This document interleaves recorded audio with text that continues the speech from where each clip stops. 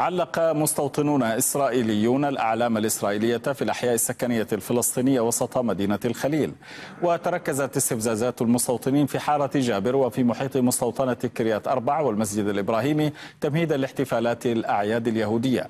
وفي سياق متصل نفذت قوات الاحتلال عمليات اقتحام لعدد من قرى وبلدات يطا جنوبي الخليل واحتجزت المواطنين ودققت في بطاقاتهم الشخصية وصادرت عددا من مركباتهم.